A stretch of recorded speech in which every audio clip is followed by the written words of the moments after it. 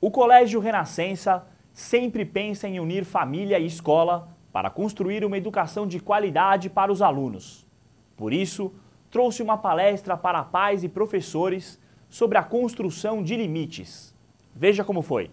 Como estabelecer limites e como isso deve ser feito? E como escola e família podem trabalhar juntas? Este foi o assunto abordado na palestra ministrada pela psicopedagoga Lucila Pimentel para pais e professores do Colégio Renascença. A tarefa de educar as crianças deve ser um trabalho conjunto entre educadores e família. Acho que hoje nós educamos tanto as crianças como os adolescentes construindo uma linguagem que seja comum, onde as próprias diversidades que apareçam possam ser discutidas ou pela família ou pela escola para o benefício nosso e dos nossos alunos e dos nossos filhos. E limites é um dos grandes desafios do século atual, né? onde nós precisamos, junto com as famílias, construirmos caminhos onde nós possamos rever os nossos limites e possamos fortalecer um espaço que seja de limite de respeito ao outro e de respeito a si mesmo, na construção do mundo em sociedade. Nós convidamos porque é um pedido tanto das famílias quanto dos educadores, para discutir esse tema.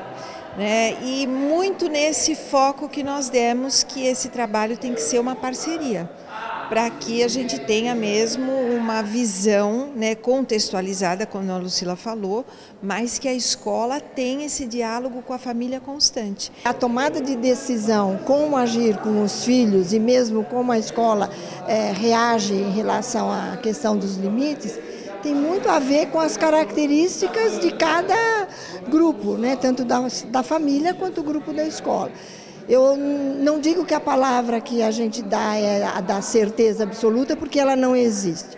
Mas são, prefiro dizer que são pontos de reflexão, para os pais saírem pensando um pouquinho. Pais e professores apoiam esta iniciativa, já que assim aprendem a como lidar com os problemas do cotidiano com os alunos e também a serem parceiros nesta jornada cada um desempenhando o seu papel. Os limites entre escola e família, eles estão bastante interligados, né?